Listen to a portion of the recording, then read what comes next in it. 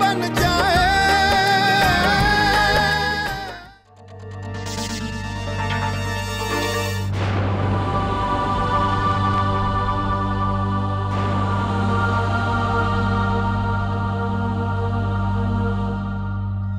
आओ बेटा अपने घर चलो।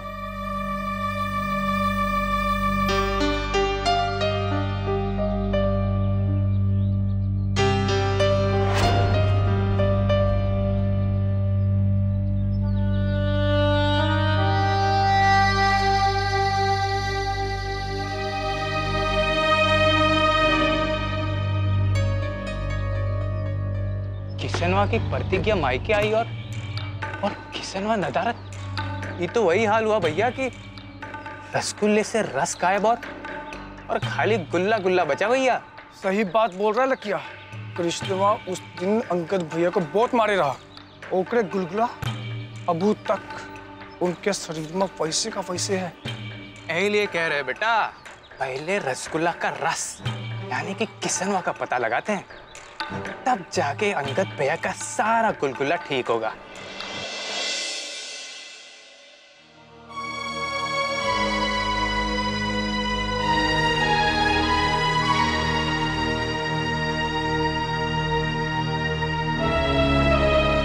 दीदी?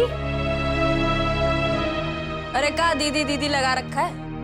तुम्हारी दीदी ने ना आज सबके मुँह पे कालिक पोत दी है।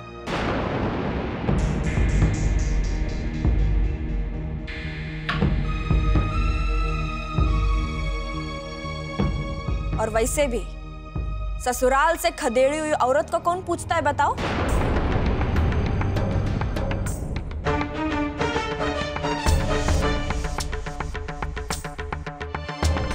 अरे तुम ना फालतू में ना हमरे अंदर की कमी ढूंढती रहती हो। देखो देखो तुम्हारी बहन में क्या कमी है। क्या हुआ दीदी? आप आप ठीक तो है ना?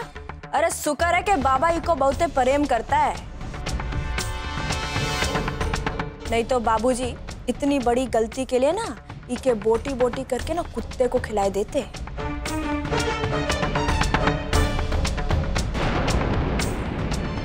चल, बुढ़ाओ का पता लगाते हैं।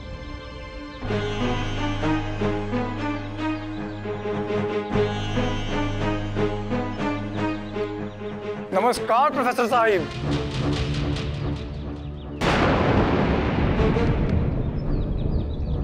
कैसे हो। जवाब नहीं दिया। का हुआ?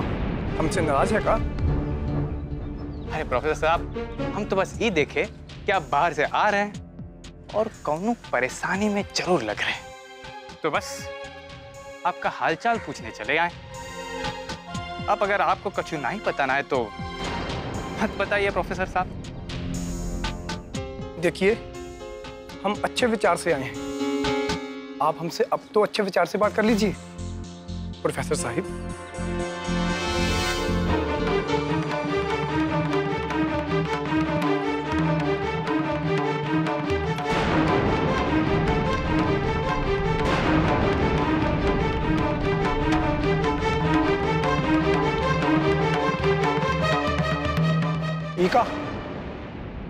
ये तो भागवा। हिले बेटा, हम तो कह रहे थे। कि कौनो चक्कर तो ज़रूर है। अब इसी चक्कर में अगर अपना चक्कर चल जाए ना तो बहुत ही बढ़िया होगा। वो कहा है ना कि हमरे अंगत भैया को ऐसी ऐसी कमज़ोरी में देखकर हमारा खून खोलता है। अब किसनवा हमको छोड़ दिए तो क्या हुआ? हम किसनवा को ना ही छोड़ेंगे। कभी नहीं दीदी बताइए ना क्या हुआ? अरे तुम मौसी नहीं बनोगी। ये झूठ मूठ बोली थी कि ये पेट से है। हमने कभी भी झूठ नहीं बोला। कृष्णा ने हमसे ज़बरदस्ती झूठ बुलवाया था। अगर बाबा ने तुमको झूठ बोलने के लिए कहा और तुमने बोल दिया कैसे तुमने आज सबके सामने सच बोला? पहले नहीं बोल सकती थी। सब नाटक करने की क्या ज़रूरत थी? कोमल सही कह रही।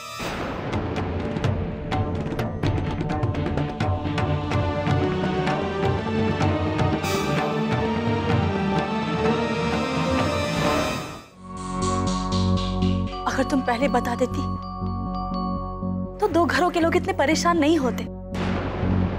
तुमने पहले क्यों नहीं बताया? हाँ? अम्मी आपको क्या लगता है? हमने कृष्णा को समझाने की कोशिश नहीं की कि वो झूठ ना बोले और सबको सच बता दे। लेकिन मम्मी, जिस तरह से धमकी देकर हमारा मुँह बंद करा दिया जाता था ना, आप लोग नहीं समझ सकते।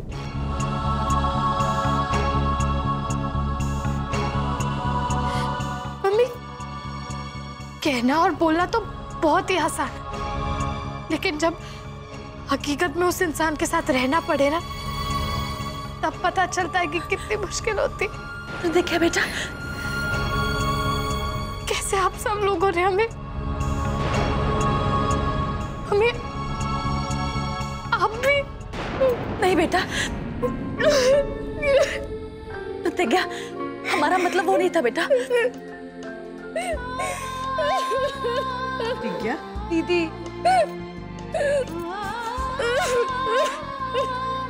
माँ जी देखिए ना।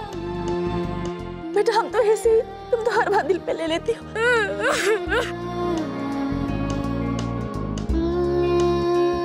दीदी प्लीज़ दीदी चुप हो जाइए ना। अंदर जाओ। चलिए दीदी।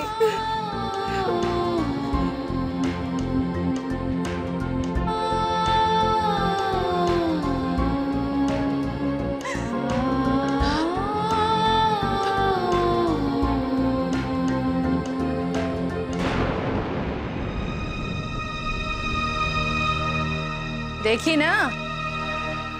ज़्यादा झूठ मूठ के मीठ बनने का का फल होता है सो। कैसा मुँह बन गया था उसका जब बाबा ने थप्पड़ मारा था। चली थी ये घर के मर्दों को अपनी उंगली पर नचाने। अब बाबा को तो बस में कर ही ली थी। उसको लग रहा था कि हमारे पति को भी अपने बस में कर लेगी। और फिर करेगी घर पर राज। बड़का आई राज करने वाली। इतना दिन ही घर में रही, लेकिन यहाँ के मर्दों को नहीं समझ पाई। देखा? कैसे दुन्नू मिलके जलील कर दिए उनको? जाते वक्त मुँह कैसा हो गया था? एकदम भूखी बचिया जैसा। ये सब तमाशा देख के तो ऐसा लगत है कि ये झूठ नहीं की दुल्हन ने नहीं बल्कि बाबा ने बोला था।